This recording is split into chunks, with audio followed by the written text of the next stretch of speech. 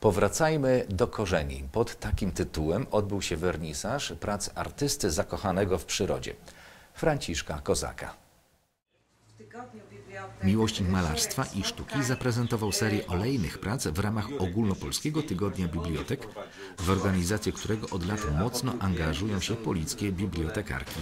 Franciszek Kozak prezentował portrety, pejzaże, martwą naturę czy obrazy marenistyczne. Jednak najbardziej artysta lubi malować przyrodę.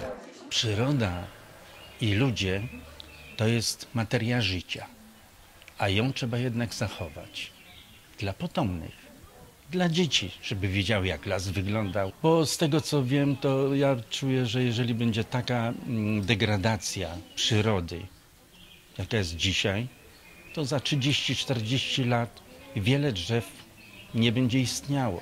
Pan Franciszek należy do grona artystów zrzeszonych przy niezależnym Europejskim Stowarzyszeniu Twórców Nest Art imienia Ewy Dąbrowskiej.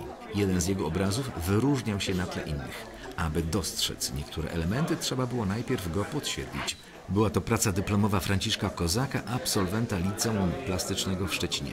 Pan Franciszek przyznaje, że lubi śpiew ptaków, taniec i przebywanie z ludźmi. Rodzinami nawet się interesują. Takim troszeczkę małym takim psychologiem jestem.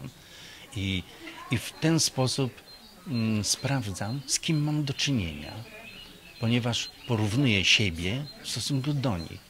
Nawet powiem Pani szczerze, że mi łatwiej jest, bo wtedy jak poznam człowieka, to wiem o czym rozmawiam, bo ludzie są różni.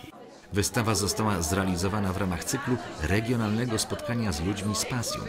Można ją podziwiać do końca czerwca w dziale Regionalnej Biblioteki w godzinach otwarcia.